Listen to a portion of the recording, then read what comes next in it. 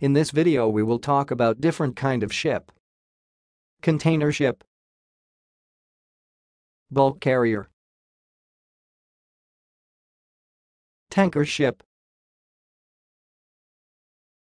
Passenger ship. Naval ship. Offshore vessel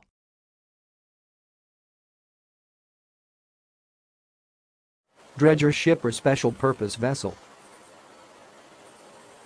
That is the seven types of ship for all of us to know, and now we will talk about it one by one.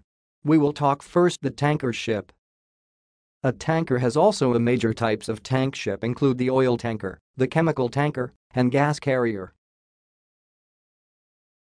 Okay now let us discuss an oil tanker also known as a petroleum tanker is a ship designed for the bulk transport of oil or its products there are two basic types of oil tankers, crude tankers and product tankers Crude tankers move large quantities of unrefined crude oil from its point of extraction to refineries. Product tankers, generally much smaller, are designed to move refined products from refineries to points near consuming markets. And now we will continue to our topic still an oil tanker. Let's talk about the class overview or subclasses of an oil tanker. There are seven subclasses of oil tanker as stated RULCC, ultra-large crude carrier. VLCC, very large crude carrier. Suezmax. Aframax. Panamax. Handysize.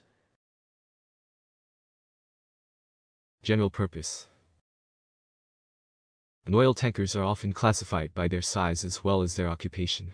The size classes range from inland or coastal tankers of a few thousand metric tons of deadweight DWT, to the mammoth ultra-large crude carriers ULCCs, of 550,000 DWT. This is the example of the average freight rate assessment of the subclasses of an oil tankers. That's all for this video. If you have something to ask or to add for further information just comment below like share and subscribe. Make suggestion of what do you like to discuss or about in my next video. Thank you for watching guys. Please subscribe Siemens World Lands 29 TV.